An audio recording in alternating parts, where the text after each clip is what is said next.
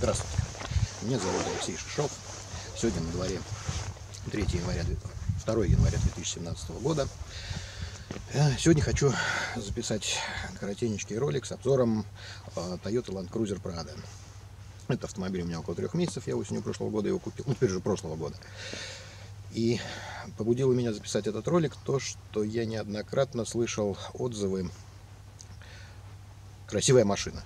Ну, цитирую, «красивая машина». Я, собственно говоря, покупал его ровно за то, что машина некрасивая. И спорить с людьми, которые считают его красивыми и таким образом высказываются, мне, в общем, стало скучно, и я решил снять это видео. Начнем с дизайна, то есть начнем с того, что меня сильнее всего возмущает. Сейчас попрошу немножечко наклони камеру, чтобы в кадре была решетка и фары. Попало? Спасибо. Вот, это просто шедевр, это дизайнерская находка. То есть вообще так вот в научно-популярных журналах и в комиксах таким образом, вот таким щербатым ртом и выпученными глазками по бокам изображают инопланетян. Причем, на мой взгляд, не просто инопланетян, а мертвых инопланетян. А причина смерти асфиксия.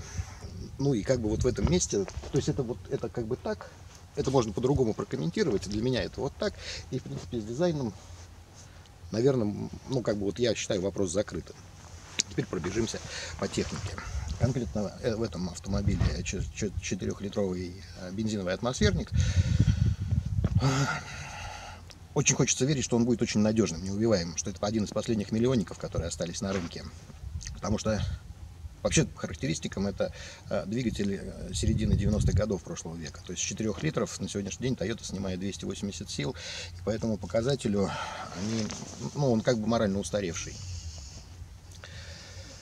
К этому же двигателю добавлена автоматическая коробка шестиступая, что, в общем, ну, тоже лет а, на 10 отстали от Европы. Причем еще не самая бодрая, довольно задумчивый автомат. Э, при этом в купе с задумчивым двигателем с педалью газа с полуметровым ходом а, он, он не едет ну вот как бы не испытываете иллюзий, он не едет. То есть у него по данным производителя 9 секунд до сотни, а, но это, мне кажется, неправда. Мне кажется, их намного больше этих секунд до сотни.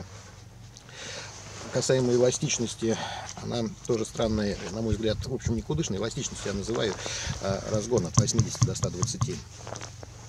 То есть, если ты вышел на обгон, надо очень аккуратно работать с газом, потому что если топнул глубоковато, он перекинет на вторую, на третью передачу, в зависимости от скорости, э, раскрутит 5000 оборотов, но рывка нет. То есть он визжит, как э, свинья на веревке, и никуда не разгоняется. Если не додавите, то это будет условно пятая передача, и он на ней тоже не разгоняется.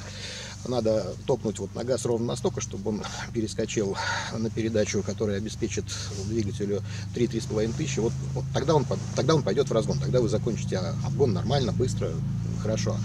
Но это, это надо ловить этот момент. Знаете, что смешно для этого автомобиля? Вот он не едет, а мне все равно.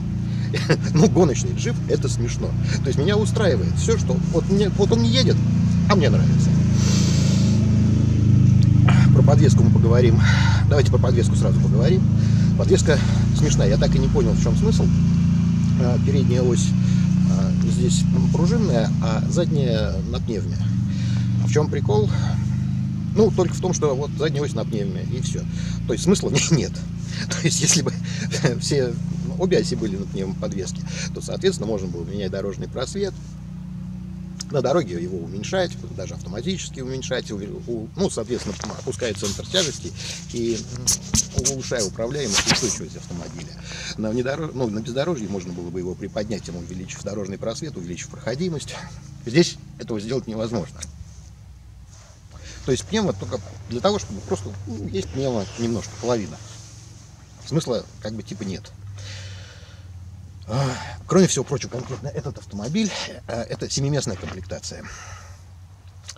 Я, ну, как бы, вот сколько, сколько не думал, я вижу только один случай, когда это может быть нужно и важно. Это когда у тебя э, большая семья, а ты, ну, типа, монгольский кочевник-скотовод.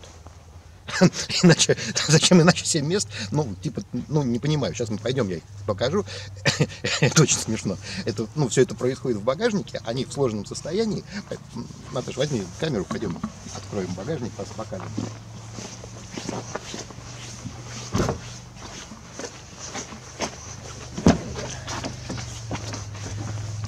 Сейчас мы отсюда, которая мешает. Я, пол, я полностью их э, раскладывать не буду. Смех еще в том, что у этих сидений электрический привод. То есть они складываются пополам, и поднять их можно одно, либо оба. А поскольку я не планировал пользоваться ими никогда и ни за что, мне Toyota, я положил сюда коврик от пятиместного автомобиля, который мне, подвинь, подвинь, верни меня, пожалуйста, который, собственно говоря, мне Toyota еще и подарил. Спасибо, Toyota. Минус существенный в чем? Что пол в багажнике здесь на 14 сантиметров выше, чем у обычного автомобиля.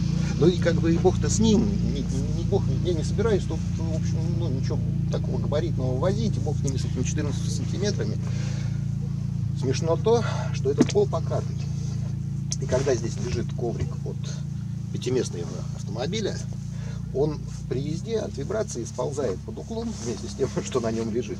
И рано или поздно упирается вот так вот загнувшись в дверь. То есть его периодически надо поправлять.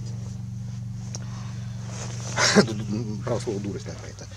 Дверь багажного отсека заслуживает особого внимания.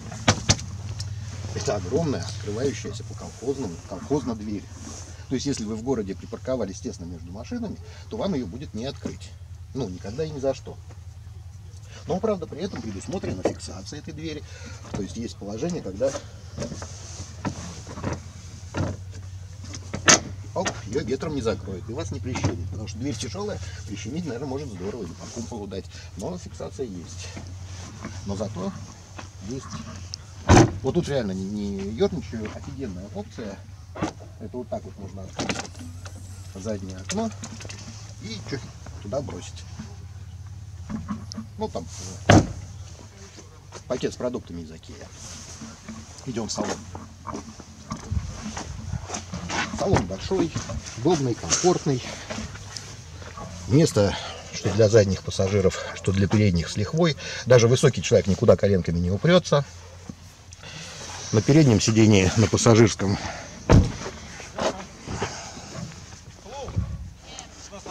помещается не просто жена, а жена в ногах у нее еще помещается собака. И никто никому не мешает. А вот тут мы снова вернемся к дизайну.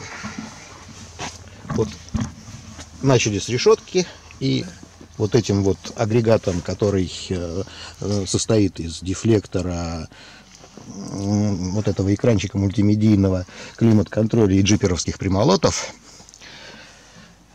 вот дизайнеры им закончили. Ну, верни меня, пожалуйста, в кадр. То есть все это должно было быть на ступеньку ниже джиперовские вот эти все прямолотные, они должны были быть там, где кулиса. Следом должен был быть климат-контроль, потом экранчик мультимедийных устройств, а дефлекторы должны были быть где-то вот на этом уровне. Но вот дизайнеры вот как с решетки начали, так логично вот этим элементом и закончили. Немножко неприятно и немножко как бы конудит, что вот в автомобиле за без малого 4 миллиона рублей, вот если вы думаете, что вот эти вставки это дерево, так вот фигушки, это пластик. Если вы считаете, что этот э, салон, что это обивка кожаная, ничего подобного. Toyota это называет эко-кожей. Мы это называем на нашем языке дермантин. Кожа молодого дерматоса. В принципе, это как бы как-то немножко не соответствует ну, общей концепции этого автомобиля. То есть, э, ну, как бы большой, дорогой, богатый автомобиль, но и дермантин здесь немножко неуместен. Что касается внедорожных свойств всех вот этих джиповских примолотов. Там есть две кнопочки. МТС называется, а вторая Крау что-то там. То есть они предназначены для того, чтобы, как уверяет Toyota, ты мог подсказать машине, на каком дорожном покрытии он находится. Только вот эта кнопочка МТС а, и разделы, которые она предлагает к выбору, начинаются с грязь и песок, потом гравий, камни, что-то там. То есть, а у нас снег. Его там нет. То есть, что делать полгода в России на этом автомобиле и как, каким образом пользоваться вот этой помощью джиперовской. А в принципе функции снег нет? Или она просто где-то очень-очень далеко? Нет, просто этого раздела нет. То есть снега нет. То есть по снегу она тебе помогать не будет. По снегу как-нибудь сами. Вторая, которая крал что-то там, это вот как раз тот самый внедорожный э, круиз, когда и там все вот это настроил, из машины вышел, и если она в хорошей глубокой колее, то, в принципе, можно идти рядом курить, она будет сама ехать. Ну, так, по крайней мере, считается. При этом обе эти системы еще э, при помощи распределения тормозных усилий имитируют блокировки межколесные, межосевые, то есть помогают им. То есть буксующее колесо подтормаживается и, и типа вот а, вращающий момент равномерно распределяется на все остальные колеса, которые более-менее в зацеплении находятся. Так это или нет, не знаю, но что предыдущий кузов, вот 120-й прадик, обладал достаточно приличными внедорожными свойствами, я видел собственными глазами, в предыдущем ролике про Туарек я рассказывал об этом. То есть он в снежную зиму 9-10, ну это был сосед мой по дому, он во дворе парковался, ну как бы где хотел и как хотел, и проблем вот в снежную зиму с парковкой у него не было. Про пневмоподвеску мы поговорили, которая половинчатая. Поговорим мы еще про такую забавную вещь, как изменение жесткости амортизаторов. Есть такая кнопочка. В принципе, при том, что э, не меняется высота центра тяжести, э, эта кнопочка, ну, она так, чисто опция, типа как бы для понтов, потому что толку от нее, на мой взгляд, не очень много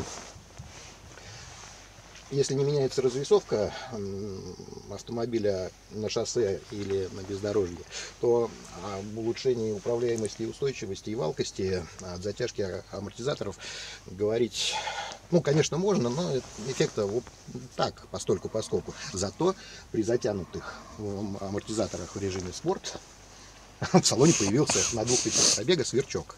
То есть вот это вот э, обрамление кулисы коробки передач, оно захрустело. Автомобиль японской сборки позиционируется как безумно надежный, а, а салон захрустел. То есть это как бы тоже не добавляет позитива, прямо скажу. Просто даже, даже вот когда только захрустело, я очень сильно расстроился. Потом уменьшил затяжку амортизаторов в комфорт, а почти не хрустит. А я и не парюсь по этому поводу больше. А, очень надеюсь, что ну, вот это будет единственным дефектом, что в остальном, ну, как бы, вот по всем соотношениям э, мощности, динамических характеристик, веса, максимальной скорости, что этот автомобиль должен быть неубиваем. То есть все-таки он свой миллион, ну, вот, должен отъездить. И, в принципе, подозреваю, что это за это его и покупают. Надеюсь, производитель не обманет. Как-то вот так сейчас будем скругляться. Это в двух словах все, что я хотел о нем рассказать.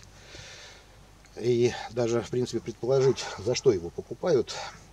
Но считаю, что одной надежности, которая еще и на сегодняшний день, ну, по крайней мере, в этом кузове не доказана, еще она и спорная, ее мало, его покупают за что-то другое. Причем я не сказал о нем ни одного хорошего слова, но это не значит, что он мне не нравится. Почему это не сказал? То есть, нет, он мне, он мне не нравится, но я его люблю, ровно за то, что он мне не нравится. Вот так бывает. То есть это, это следующий курс борьбы с торикозависимостью. То есть если принудительное лечение э, было при помощи джипа Ранглера, то сейчас уже добровольный курс лечения осуществляется при помощи вот Cruiser Prado. И, знаете, помогает. помогает. То есть зависимость от автомобилей, ну вот и, ну, линейки вот этих автомобилей, я называю ее Туарега, зависимость, поскольку сам ездил на Туареге, ну, он лечит. То есть вот он, он как бы типа не едет, а мне типа как бы и все равно. И, и он даже, и, и меня даже это радует. Вот так. И, и еще долгое время я ни на что его не буду менять. Потому что ну, как бы типи не хочу. А если буду менять, то тоже на какой-нибудь такой же дурацкий автомобиль. Вообще, ну, как бы кроме надежности, я считаю, что, ну, вот их нет, ну, ну, наверное, охотники и рыболовы их покупают, но, типа, вряд ли их можно, наверное, вычеркнуть, потому что машина-то не дешевая, а охотники и рыболовы, ну, как бы убивать на бездорожье предпочитают все-таки УАЗик Хаттер. Ну, есть, наверное, круг э, состоятельных охотников и рыболовов, и они приобретают этот автомобиль, готов предположить. А основной круг их покупателей, мне так кажется, ну, помимо потребительских свойств, среди которых основное это надежность, это люди с очень а, хорошо развитым чувством юмора. То есть они, ну, как бы, вот, готовы посмеяться и, и над собой, и вот над своим автомобилем вот таким. Готов предположить, что есть, безусловно, и люди, лишенные чувства юмора среди счастливых обладателей этого автомобиля, а, которые действительно считают его красивым. Но мне кажется, что их, ну, как бы, типа, не очень много.